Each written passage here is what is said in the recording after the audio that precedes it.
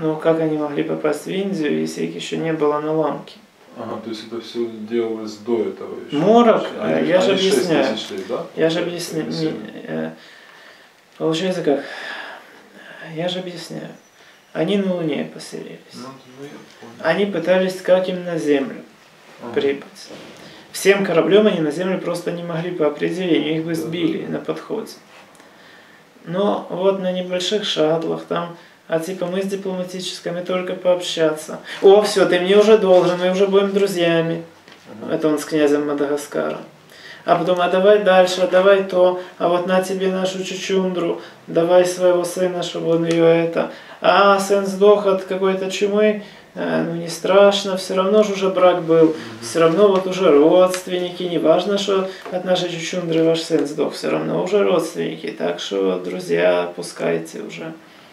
И дальше там, а вот давайте вы с этими повоюете, а вот нате вам это, чтобы с ними лучше. А, а потом идет к противоположной стороне, а нате вам это, это, потому что у них есть то. И давайте воюйте. И как бы снова всем помогает, на всех ставит, любой, кто победит, будет его союзником по определению. То есть это была работа проделана еще до того, как на Луну спустился корабль? На Луну уже спустился. Они уже на Луне все сидели.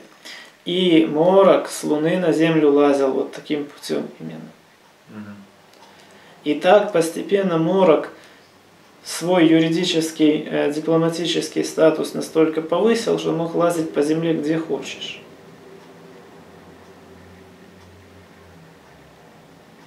Мгм.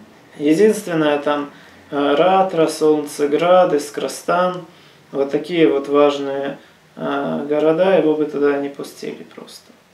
Но тоже не убили бы ничего, просто бы сказали, извините, вам сюда нельзя. Уважаемый, как бы, вот есть другие города, пройдите в те храмы, пожалуйста. Ну, потому что важный дипломатический гость. И вот, он узнал про наши обычаи, он узнал, что есть день, когда нельзя отказывать ни в чем. Он узнал, что есть один очень мудрый священнослужитель. И нашел вот другую, там, свою какую-то родную чучундру, привел ее, и она просила у священнослужителя, чтобы кто-то ее заплодотворил. И так родился Равана, его братья и его сестра именуемая крысиный ужас. А демоница это было, ну, имя ее, А, Щурпаника. Щурпаника. Ага. Ну или крысиный ужас, как ее называли. Еще лунная царица ее называли. Это вот она у жреца попросила сперму для... Нет, это, э, Это она уже родилась ну да. после этого, да. Ну да, я ж как бы... А я, объясняю. я про ту демоницу, которая э, зачала всех этих, всю эту команду. Она проклята. Там она ряд гадостей совершила, поэтому ее можно называть проклятой тварью и нечистью зловещей, вот всякими такими путями. А Равана ее, получается, послал к этому жрецу. Морок. Мор. Равана еще не родился. Все, Равана уже был в этой команде родившихся. Да. Равана, Шур, Шурпаника и, И еще два демона. и еще два демона, да. Понятно. А потом он э, какую-то с собой э, бредятину сделал. И я об этом уже рассказывал, что его тело рассыпалось. Морок. Да. Да. Ну а потом уже э, Равана пришел к э, нашему царю и сказал, слышь, я сын мудреца, хочу землю в управление. Тот такой, о, священнослужитель хочет взять землю в управление, прекрасно, сын достойной династии, прекрасно, прекрасно.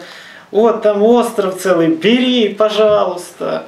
Поздравляем, нарекаем там царем этой местности, все, бери. Но у князя не было понимания того, откуда это семя, что это. Так как семя от достойного священнослужителя, все как положено.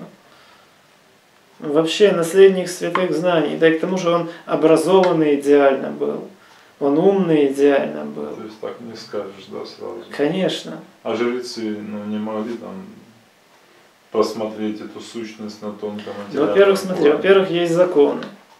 А, Во-вторых, э, часто так дворцы были устроены, что если человек не обладал ведическим знанием, он бы где-нибудь там подох по дороге к князю.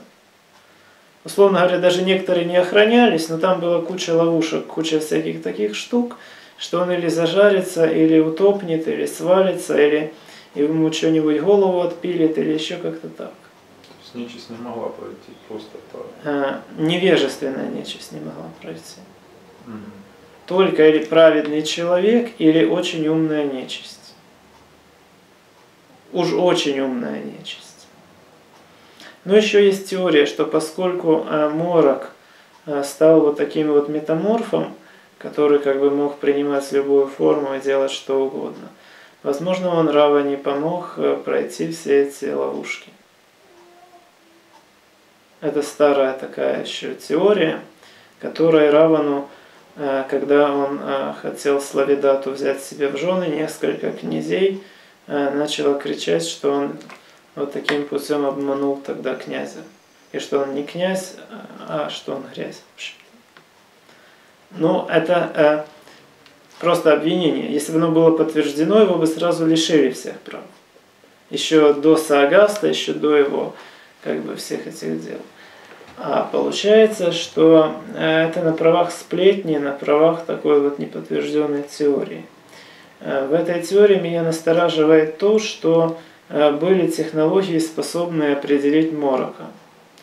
Его пометили специальными изотопами и, в принципе, отслеживали, потому что очень боялись, что из его тела разовьется некий аналог канков.